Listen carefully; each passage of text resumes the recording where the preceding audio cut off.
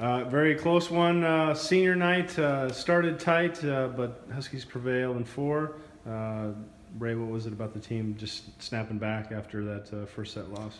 Well, you know, there's still a lot to be, a lot to play for, um, and so you know, credit to Mike uh, Gawlik and his group. Those, those the gals from Central play really hard, and, they're going to be a force to be reckoned with here in the future. Um, so they were they were a step ahead of us in every phase in that first set. Um, I think we just had a lot of emotion in the night and everything that was going on, and I thought it was good for us to settle down, and we've gotten better over a period of time, little by little. We started to improve.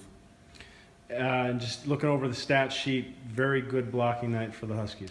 Yeah, I mean, we- we've done a really nice job working on it. I think Matt Sprague's been doing a really good job working with the group, uh, trying to understand how to, you know, uh, use our hands and, and, and looking at what we see and things like that.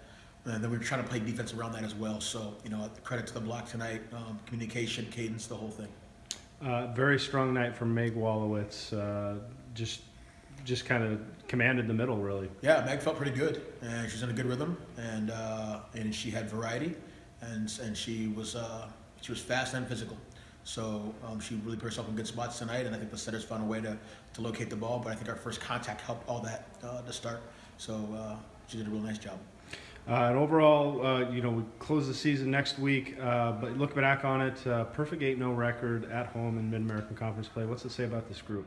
It, you know, it's it's there's so much to be said right now about them. You know, there's so many positive things that have gone on.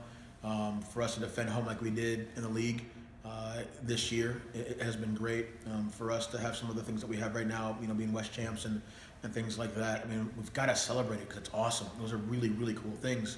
Um, you know, and, it, and it's not only seniors, it's the entire group. I mean, the group that started from a long time ago with our first home tournament. Um, we still have more to go, but I just think, you know, it's nice to take a breath and kind of go, hey, you know what? We've been doing some pretty good things. And, and, and, and, it's, and it's a credit to the team being good to and good for each other.